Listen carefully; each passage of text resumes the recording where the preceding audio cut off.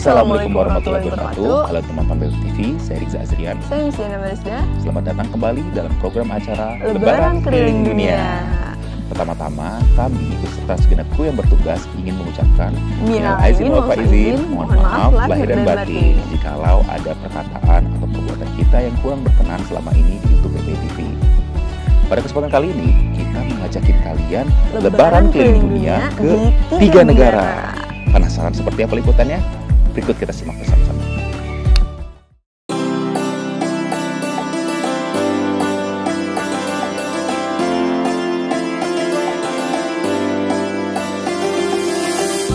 Assalamualaikum warahmatullahi wabarakatuh. Selamat Idul Fitri 1 Syawal 1442 Hijriah. Taqabbalallah minna wa minkum. Eh, Semoga Allah menerima amal ibadah kita semua Di bulan suci Ramadan yang baru saja berlalu Nah kembali bersama saya Ramarizana di program acara Lebaran Keliling Dunia PPTV Nah jadi saya eh, reporter Ramarizana akan bercerita tentang bagaimana situasi dan cerita pengalaman eh, berlebaran di negeri Arab Saudi, lebih tepatnya sekarang di Madinah. Jadi eh, secara umum ini adalah lebaran tahun kedua di tengah pandemi. Ya bedanya dibanding tahun lalu. Kalau tahun lalu itu Arab Saudi menerapkan kebijakan lockdown mulai dari yang jam malam sampai 24 jam. Tidak ke mana-mana kecuali ada hal yang mendesak.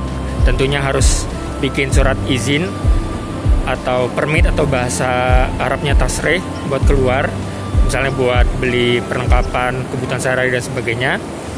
Yang juga konsekuensi lainnya atau kebijakan lainnya adalah tidak adanya sholat berjamaah di masjid otomatis juga tidak ada tarawih apalagi sholat id nah maka tahun ini alhamdulillah eh, meskipun masih dalam situasi pandemi dan kasus juga masih bertambah Eh, Alhamdulillah ada diadakannya sholat eh, tarawih di bulan Ramadan dan juga sholat id di hari raya Idul Fitri. Nah, adapun kondisi eh, menjelang Lebaran, terutama di 10 hari terakhir yang merupakan eh, momen yang paling ramai eh, oleh umat Muslim di Arab Saudi, khususnya ya baik itu dari eh, pendatang maupun eh, orang Saudi sendiri adalah untuk beritikaf atau menghabiskan malam-malam eh, 10 malam terakhir di bulan suci Ramadan eh, untuk beribadah di Haramain atau dua tanah haram atau dua kota suci umat Islam Mekah Madinah khususnya di Masjidil Haram Mekah maupun Masjid Nabawi kota Madinah Al Munawwarah. Nah, prosedur protokol kesehatan yang dilakukan baik itu saat sholat tarawih, sholat eh, lima waktu maupun sholat id eh, yang baru saja berlalu adalah yang mungkin sama dulu dengan eh, sebelum pandemi itu kita mesti hadir standby ke Masjid Nabawi ataupun Masjidil Haram itu paling lambat sekitar jam 3 subuh atau satu jam sebelum waktu azan subuh berkumandang. Nah lalu juga ya kenapa harus satu jam sebelumnya bahkan subuh ya mungkin berbeda Indonesia kita sholat di uh, masjid atau musola dekat tempat tinggal kita masing-masing lalu kita bisa istirahat dulu makan dan sebagainya baru sekitar setengah sampai satu jam sebelum waktu biasanya sholat penyelenggaraan sholat id nah di sini karena ya terutama di Masjidil Haram Masjid Nabawi itu uh, tempat penyelenggaranya sholat subuh sekaligus sholat id nah jadi semua orang yang ingin sholat id di baik itu di Masjidil Haram maupun Masjid Nabawi itu harus sudah siap sedia datang sebelum sholat subuh. Nah bahkan kemarin penyelenggaraan sholat id yang baru saja berlangsung itu pada sudah uh, mulai ditutup akses ke pelataran Masjid Nabawi. Ya sepertinya juga sama dengan Masjid Masjidil Haram itu bahkan jam setengah tiga atau jam tiga sudah mulai beberapa titik itu ditutup. Nah Lalu sebelum masuk ke area pelataran Masjid Nabawi uh, itu harus uh, menunjukkan uh, aplikasi Tawakalna. Ya, mungkin sebagaimana sahabat PPTV sudah simak di story pengalaman saya berpuasa di Arab Saudi. Jadi uh, Tawakalna itu adalah aplikasi bisa dibilang tracer uh, COVID-19. Mungkin di Indonesia seperti Peduli Lindungi ya. Koreksi jika keliru Nah, jadi di aplikasi itu ada uh, tertera status kesehatan uh, penggunanya, orang yang sudah dapat uh, ikoma atau resident permanent atau surat izin tinggal. Nah, itu nanti ke kelihatan kondisinya fit atau terpapar COVID dan sebagainya. Nah, adapun untuk masuk ke Masjidil Masjid Nabawi itu harus kondisinya imun atau sudah mendapatkan dosis pertama vaksin COVID-19 uh, minimal setelah dua minggu dosis pertama. Nah, jadi bagi orang yang meskipun kondisinya fit tapi belum mendapatkan vaksin dan belum keadaan imun di status tawakalnanya, maka itu tidak boleh. Begitu. Sampai barulah kemudian setelah bisa masuk ke pelataran Masjid Nabawi, baru bisa masuk ke dalam ke dalam gedung kalau misalnya masih dibuka aksesnya atau di pelataran halaman Masjid Nabawi. Ya, jadi ini penampakan di uh, kota Madinah di malam takbiran. Ini pinggir jalan ini adalah orang yang jualan beras buat kaum muslimin bayar zakat fitrah. Nah ini menurut sumber uh, mahasiswa Indonesia di Madinah sebut saja namanya Isan uh, orang-orang yang jualan tadi di pinggir jalan eh, yang banyak kan wilayah masjid Nabawi, sekitar masjid Nabawi. Itu mereka sudah standby dari lima hari terakhir Ramadan sampai nanti menjelang subuh. Karena kan itu waktu terakhir paling terakhir buat uh, pembayaran zakat fitrah. Gitu.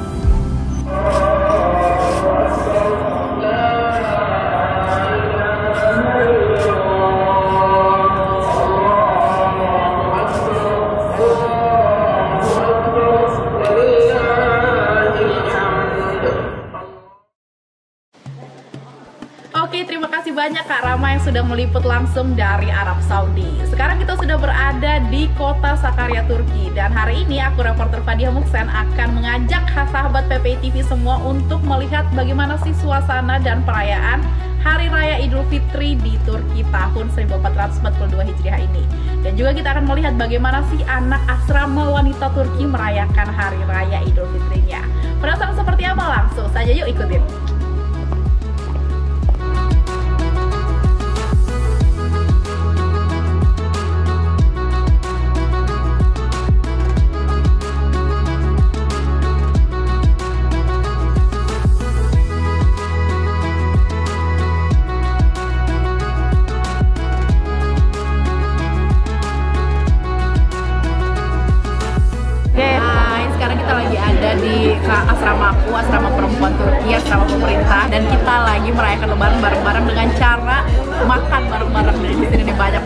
Teman-teman dari luar negeri semuanya. Jadi anak-anak asing anak-anak international student.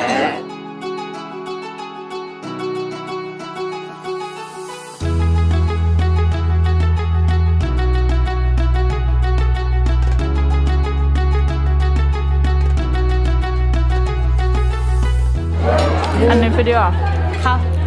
Balkan? Ha? Balkan? New York?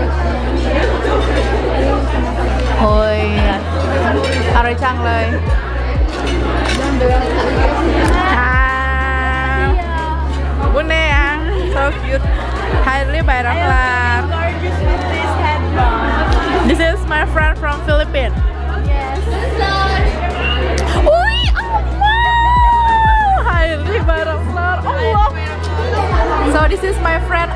From Egypt Hi everyone Hi Indonesia What do you wear now? What are you wearing? Kind of traditional Egyptian clothes. It's called Mlaila. Mlaila? Yeah. Wow. It's famous in Egypt. When we were under the Osmanli government, mm -hmm. it was obligated to the girls to cover their faces mm -hmm. and to wear something to cover black to cover their bodies. Wow. But the Egyptian girls are the Egyptian girls, so they made this as a face cover, uh -huh and they made uh, this kind of black um, fabrics or whatever. Mm -hmm. And under it, they are wearing like short dress. Ha, but now this is so fashionable. but so fashionable. Çok güzelsiniz, maşallah. Thank you. You are very beautiful too. Hi Indonesia. น่าตรงนี้นะคะได้ยินเสียงเราไหมอันนี้นะคะเรากำลังกินแตงกวาอยู่นะคะเรากินอาหารเช้าณเวลาเท่าไหร่นะ11ครึ่งนะคะก็ดูสิคะ ร่อยจริงก็ไม่อิ่มหรอกแต่มันอิ่มใจ Sekarang kita akan ngambil nomor undian untuk dapat surprise. Itu di belakang rame banget. Kita mau ambil nomor undian surprise dan lihat kita bakal dapat hadiah apa.